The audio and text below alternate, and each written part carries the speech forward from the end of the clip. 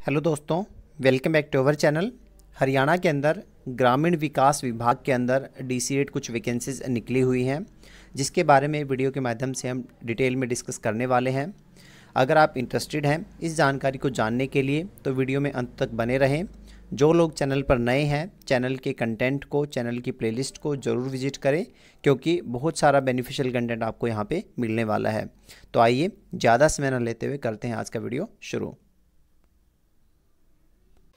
ये देखिए, जैसा कि मैंने आपको बताया कि जो विभाग रहने वाला है, हरिया ग्रामीण विकास विभाग ये रहने वाला है, जिसको हम इंग्लिश में हरियाणा रूरल डेवलपमेंट डिपार्टमेंट के नाम से भी बोलते हैं। तो इस विभाग के अंदर हरियाणा के चार ज़िलों में ये वैकेंसीज आई हुई हैं। चार ज़िले कौन कौन से हैं? सबसे पहले है महेंद्रगढ़ है, उसके बाद फतेहाबाद है, झज्जर है और कैथल है। इन चार ज़िलों के अंदर ये वैकेंसीज अवेलेबल हैं। वैकेंसीज किस पोस्ट पर है तो वो मैं आपको बता देता हूँ। ओ बुड्स पर्सन के नाम पर ये वैकेंसीज है, या पोस्ट का नाम आप कह सकते हैं ओ बुड्स पर्सन ओ बुड्स पर्सन एक ऐसा व्यक्ति होता है, जो कि कोई भी अगर स्कीम होती है जैसे कि हरियाणा के अंदर तो उससे रिलेटेड जो भी शिकायतें आती हैं तो उन शिकायतों का निपटारा करने के लिए एक व्यक्ति को वहाँ पे नियुक्त किया जाता है, जिसको हम ओबुड्स पर्सन के नाम से जानते हैं।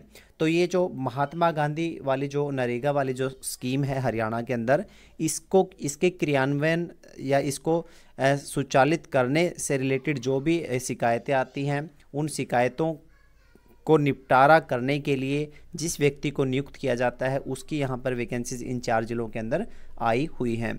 तो यहाँ पर जो सैलरी स्ट्रक्चर रहने वाला है, इसमें क्या होता है कि पर शिकायत मतलब पर कंप्लेंट को निपटाने का वहाँ पे प्रोविज़न है, जैसे कि बाईस सौ पचास रुपये एक शिकायत को निपटाने के लिए वहाँ पे उस व्यक्ति को दिए जाएँगे और मैक्सिमम सैलरी उसकी रहने वाली है यहाँ पे forty five thousand rupees maximum salary यहाँ पे मिलने वाली है।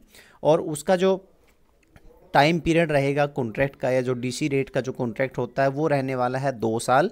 दो साल के बाद उसको फर्दर दो बार एक्सटेंड किया जा सकता है based on the requirement of the department तो ये यहाँ पे सैलरी स्ट्रक्चर रहने वाला है और टाइम पीरियड मैंने आपको बता दिया है। एज लिमिट का कोई यहाँ पे अप टू सिक्सटी और सिक्सटी एज लिमिट है, मैक्सिमम एज लिमिट इस एज लिमिट तक के व्यक्ति भी अप्लाई कर सकते हैं। हाँ साथ में इसमें जो है दस साल का एक्सपीरियंस भी मांगा गया है, जैसे कि पब्लिक एड या इस तरह के जो डिपार्टमेंट होते हैं तो वहाँ उससे रिलेटेड एक्सपीरियंस यहाँ पे मांगा गया है, जहाँ पर आपने लोग, लोगों से रिलेटेड काम किया हो मीन्स लोगों के जो शिकायतें होती हैं या उन, उनसे रिलेटेड जो भी काम होते हैं, उस तरह का फ़ील्ड में अगर आपने काम किया हुआ है तो आप अप्लाई कर सकते हैं। और रही बात क्वालिफ़िकेशन की तो एटलीस्ट ग्रेजुएट कैंडिडेट वहाँ पे होना चाहिए, अगर आप इस पोस्ट के लिए अप्लाई करना चाहते हैं तो। अब अप्लाई कैसे करना है? अप्लाई करने के लिए एक एप्लीकेशन फॉर्म है, जो कि मैं आपको दिखा देता हूँ वीडियो वीडियो के माध्यम से। उस एप्लीकेशन फॉर्म को आपको फिल करना है और इस ये जो एडवर्टाइजमेंट जब प्रकाशित हुई है, तेरह जून को ये प्रकाशित हुई है, तेरह जून से इक्कीस दिन के अंदर अंदर आपको उस एप्लीकेशन फॉर्म को जो है डिपॉजिट करवाना है। कहाँ पे? वो ये एड्रेस दिया गया है, ग्रामीण विकास विभाग, हरियाणा का कार्यालय है। थर्टी, बेस बिल्डिंग, तीसरी मंजिल, सेक्टर सत्रह, सी, चंडीगढ़। यहाँ पे आपको इसको जो है डिपॉजिट करवाना है।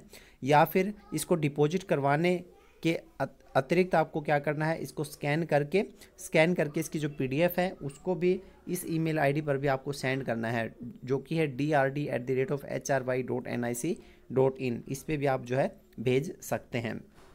ठीक है? और ये इसकी वेबसाइट रहने वाली है। इस वेबसाइट के माध्यम से भी आप इस एडवर्टाइजमेंट को देख सकते हैं। या इसका जो पीडीएफ जो है, जिसमें टोटल इन्फॉर्मेशन दी हुई है कि वो बूट्स पर्सन की रोल्स एंड रिस्पॉन्सिबिलिटी क्या क्या होती हैं, और उसको क्या क्या काम करने पड़ते हैं, क्या सैलरी जैसा कि मैंने आपको बताया तो वो सारी पीडीएफ में दी हुई है। उसका लिंक आपको डिस्क्रिप्शन बॉक्स में मिल जाएगा, वहाँ से जाके आप इसको चेकआउट कर सकते हैं। इसके अतिरिक्त इसका जो सिलेक्शन प्रोसीजर रहेगा सिलेक्शन प्रोसीजर में कोई भी रिटर्न एग्ज़ाम नहीं है। डायरेक्टली इंटरव्यू बेस पर आपका जो है सिलेक्शन इसमें रहने वाला है। एक कमेटी जो है वो प्रिपेयर बनाई जाती है सरकार के माध्यम से और सरकार के माध्यम से जो कमेटी है, वही कैंडिडेट्स का इंटरव्यू लेती है और डिपेंडिंग ऑन द इंटरव्यू वो उनको जो है सेलेक्ट करते हैं। तो बेसिक डिटेल्स मैंने बता दी है, अब आपको एप्लीकेशन फॉर्म में दिखा देता हूँ।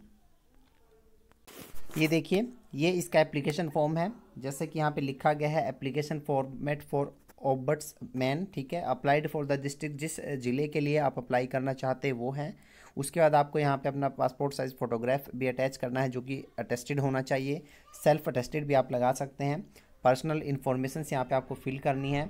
उसके बाद प्रोफेशनल इन्फॉर्मेशन आपकी क्वालिफिकेशन क्या है, आपका वर्क एक्सपीरियंस क्या है, कहाँ पे आपका एक्सपीरियंस है, ये सारी चीज़ें यहाँ पे आपको फिल करनी है और इस फॉर्म को जो कि मैंने आपको एड्रेस बताया था तो उस एड्रेस पर इसको भेज देना है ईमेल के माध्यम से भी और बाई पोस्ट स्पीड पोस्ट या बाई फिर हैंड आप इसको डिपॉजिट करवा सकते हैं। इसके अतिरिक्त इसका जो पीडीएफ है एडवर्टाइजमेंट का, जहाँ पर बहुत सारी डिटेल दी गई है, इससे रिलेटेड वो भी मैं आपको दिखा देता हूँ। ये देखिए, ये इसकी जो है ये इसकी जो है पीडीएफ एडवर्टाइजमेंट है, जो कि ministry of rural development Mahatma Gandhi NREGA division की तरफ़ से इसको नोटिफाई किया गया है पब्लिश किया गया है। तो इसके अंदर बहुत सारी डिटेल्स हैं। ओबर्ट्स पर्सन की जो पोस्ट है, उसके रिगार्डिंग सैलरी स्ट्रक्चर भी दिया गया है। जैसे कि मैंने आपको बताया था maximum salary forty five thousand रहने वाली है।